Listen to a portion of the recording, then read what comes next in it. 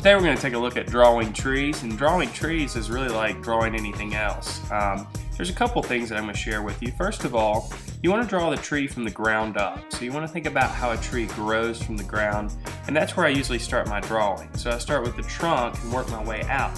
And you start with thicker lines, and then they progressively get smaller. A common mistake I see people make when they're drawing trees is they make the branches not very organic. And what I mean by that is they don't let the lines kind of free flow out like a tree grows. So be free with your branches um, when you draw them. Let, let the branches just expand out and slowly get smaller and let, let your line kind of wiggle around. I guess is the best way to uh, say that. Um, another thing that's important is that you really need to think about the light side and the dark side of the tree. So you need to think about your light source. One side of the tree is going to need to clearly be highlighted and the other side of the tree is going to be clearly shadowed. That'll help your tree look like it's three-dimensional. So basically the way I like to draw trees is I'll draw the structure of the tree first. So I'll basically draw the tree the way it would look in the winter time and then slowly add the leaves. Now a lot of people also try to add each individual leaf and draw the shape, the outline for the, for the leaf, and then maybe color it in um, I'm, I'm a little bit looser than that. Um, I, I, just kind of draw a bunch of little textury lines and they will translate as leaves because leaves are really just texture on the tree. And the same thing is true with the leaves. You need to have a dark side and a light side.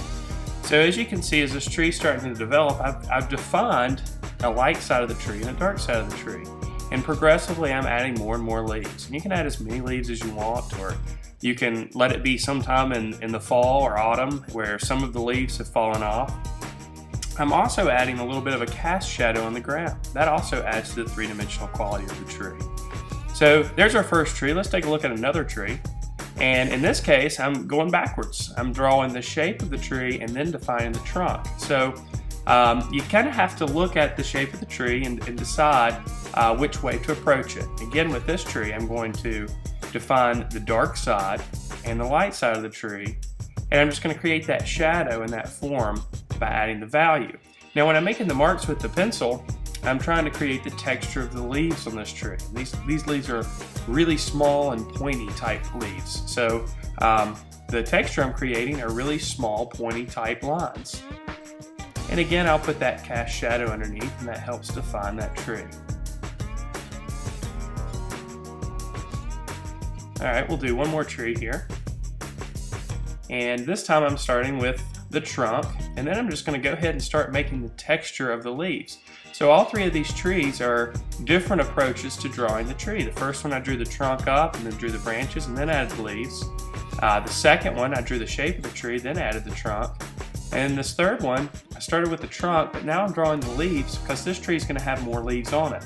So you're gonna be able to see less of the branches. And again, it's all about defining the light side and the dark side. And in this case, you can really see the difference between the light side and the dark side of the tree. It's all done with just texture, and it'll translate as leaves. You know, one thing that might help you with this is if you kind of squint your eyes and see the tree a little bit blurry, it, the values will stand out, the dark values and the light values. So drawing trees doesn't have to be hard. You just draw what you see, be loose, define the texture, and define the light source.